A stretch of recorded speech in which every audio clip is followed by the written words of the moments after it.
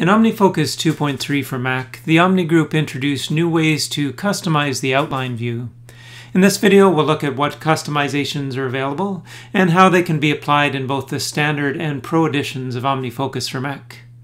Let's start by looking at the features that are available in both the standard and pro editions. To begin with, I'll switch to the projects perspective.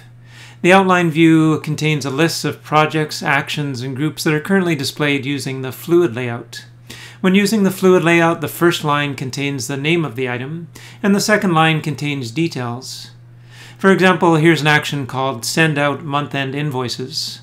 The title of the item is in the first line, and the details, including the context and defer and due dates, are displayed on the second line.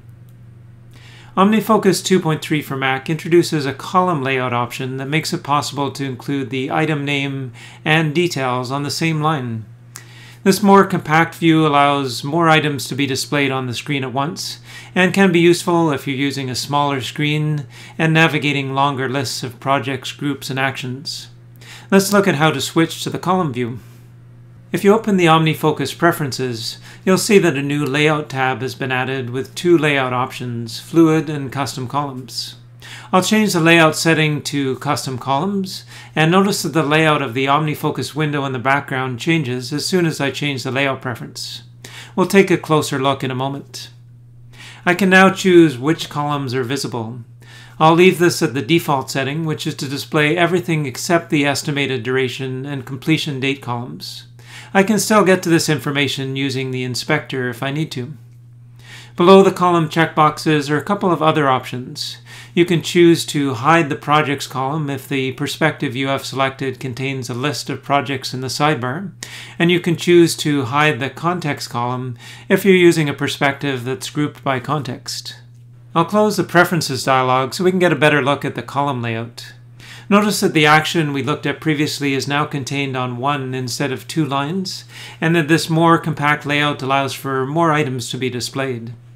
OmniFocus intelligently adjusts the width of columns to display as much information as possible. The projects perspective that I'm currently in contains a list of projects in the sidebar, so the projects column isn't displayed in order to save space. I can still move an action to a different project by using the inspector, or by dragging and dropping it to a different project in the sidebar. If I switch to the Context tab, you'll see that the items are grouped by context, and in keeping with the preference we specified earlier, there isn't a column for context. I can still move an action to a different context using the inspector or by dragging and dropping.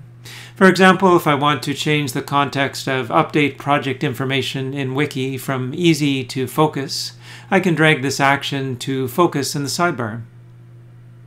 If the name of an item doesn't fit in the name column, there are a couple of options. You can either have it span two or more lines and have the complete name visible, or you can have OmniFocus truncate any items that aren't selected. For example, notice that the review summary of reviews that were completed last year currently spans two lines. If I click on View and then Show Full Item Title, I can choose either Always or When Selected. Notice what happens to the outline view when I choose When Selected. The first part of the item I was looking at is now displayed on one line, and when I click on it, it expands to show the full title. If you'd like to go back to the Fluid Layout option, simply open the Preferences dialog and choose Fluid from the Layout tab. If you're using the Standard edition of OmniFocus, the layout option you specify in the Preferences dialog will apply to all perspectives. I'll close the Preferences dialog for now, and we'll look at some options that are available in the Pro edition of OmniFocus. If you click on the View button or press Command-Shift-V, you'll see that there's a Layout section that allows you to choose to use the default layout settings that are specified in Preferences. And you can also choose to use either the Fluid layout or to use custom columns for this specific perspective. If you choose custom columns, you can even choose which columns are displayed for this perspective. I'll switch this back to Use Preferences for now, and we'll click on the View icon to hide the view options. If you open up the Perspectives window by choosing Perspectives Show Perspectives, you'll see that a new Layout section has been added to the perspective settings. The options available here match those that are available through the View button on the toolbar. I'll close the perspectives window for now. The Pro Edition also allows you to customize the layout of the quick entry dialog. To show you how this works, I'll choose Show Quick Entry from the Windows menu. And then I'll click on the eye icon in the lower left-hand corner of the Quick Entry window. There are three options available. I can use the layout specified in the Layout tab of the Preferences dialog. I can choose to always use the fluid layout for quick entry, or I can choose the custom columns option and specify what columns are displayed in quick entry. For this example, I'll choose custom columns and will select all of the columns except completion date. I'll click on the eye icon to hide these options and we'll increase the width of the quick entry window to allow for wider columns.